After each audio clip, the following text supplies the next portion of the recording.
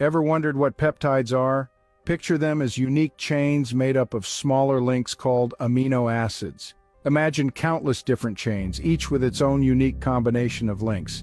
That's the vast world of peptides for you. So peptides are chains of amino acids, but what exactly are these amino acids? Amino acids are the building blocks of peptides. Picture a box of 20 unique Legos, each representing an amino acid. Alanine, arginine, asparagine, aspartic acid, cysteine, glutamic acid, glutamine, glycine, histidine, isoleucine, leucine, lysine, methionine, phenylalanine, proline, serine, threonine, tryptophan, tyrosine, and valine. These Legos connect in myriad ways to create peptide structures, forming chains that are as diverse as they are complex, each chain a unique peptide with a potential function. Now that we know the building blocks, let's delve into the fascinating world of peptides. Peptides are more than just chains of amino acids, they have various functions too.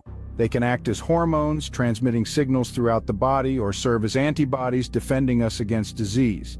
But here's the thing, each peptide is like a key, designed for a specific lock. A peptide's function is so specific it's like a fingerprint, unique and identifiable. So each peptide has a unique function, but how can we know for sure?